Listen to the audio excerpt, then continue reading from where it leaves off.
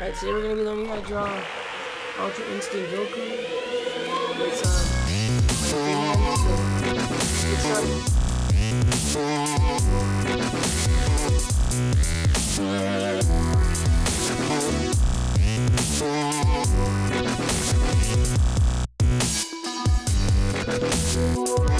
it's